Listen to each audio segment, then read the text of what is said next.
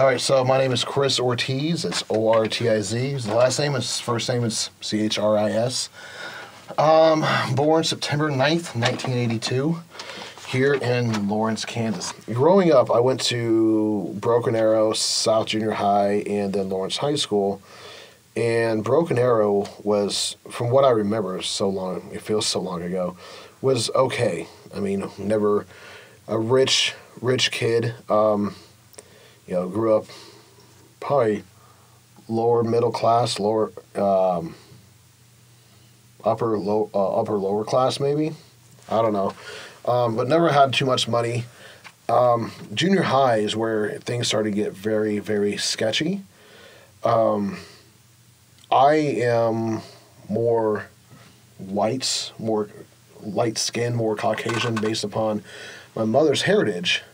Um, but I still have my last name of Ortiz. Everybody knew who I was growing up because of my brother, you know, and my dad was tried to be very active in my life as far as being a coach and everything else for the little league teams that I played on, and he is very dark skinned, uh, very dark skinned uh, Mexican. He looks like a you know your stereotypical traditional Mexican, um, and so everybody knew that I was Latino in a sense.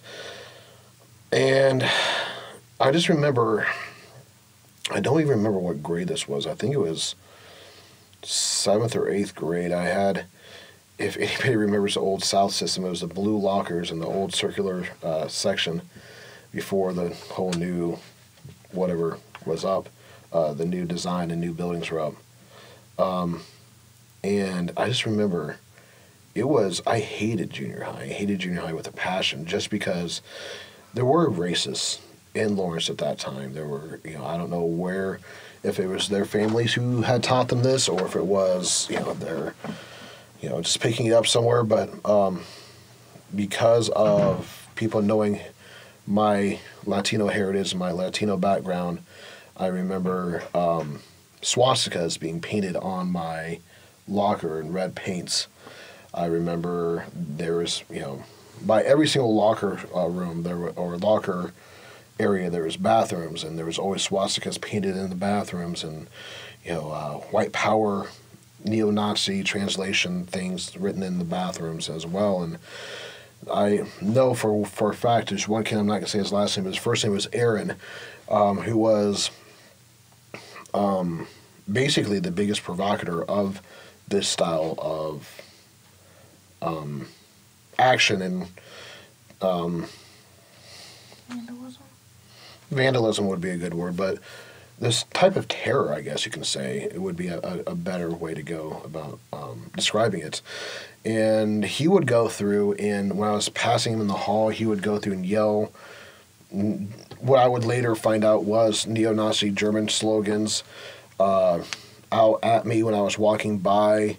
Um, he would, you know, give a little Hitler, heil Hitler salutes. Uh, I don't know when I would walk by, you know, it's just, and later I find out he was also the one who was, him and a couple of his friends were the ones who were doing the swastikas all around my locker. And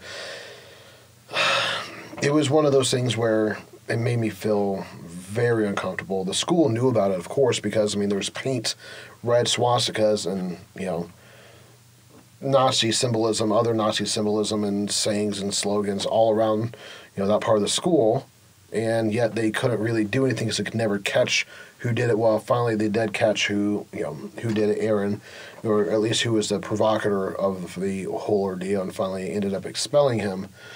But that didn't stop really. Well, it stopped at that time, but it didn't stop uh, in high school. In high school, there's another kid who, I guess, really did not like. Um, Latinos as well. And um, I had a creative writing class with Miss Klumsky, I believe her name was. She was a very interesting teacher, but um, that's a different story. But um, there was a restroom up in the English hallway of Lawrence High at that time. Um, that was on the north side of the second floor on the east side of the hallway. Yes.